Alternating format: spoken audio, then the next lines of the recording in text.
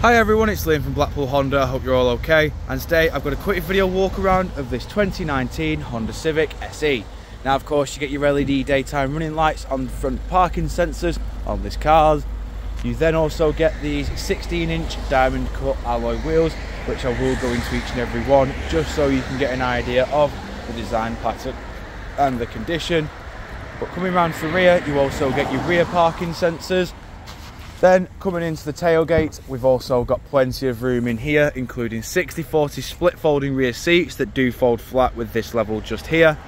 Then you've got your pull-out privacy shelf, like so. So you, it does ensure for maximum privacy inside of the tailgate. Then coming out and around, showing you the rear alloy just here.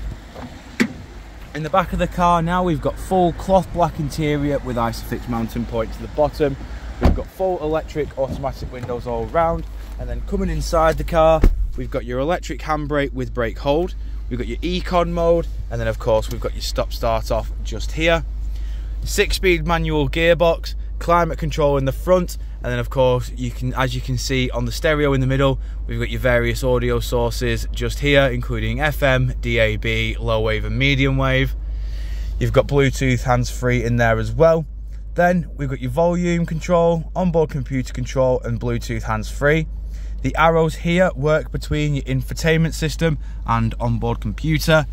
Then on the right hand side, we've got your lane cruise control, speed limiter, distance control and lane keep assist. You've got automatic headlights. And then of course, as you can see, this car has done 55,123 miles. Jumping back outside the car now, showing you the last remaining alloy if you do of course require any further information on this Civic SE, don't hesitate to get in contact with our dealership and one of our sales team can provide you the personalised video. We thank you for your time and we hope to hear from you soon here at Blackpool Honda.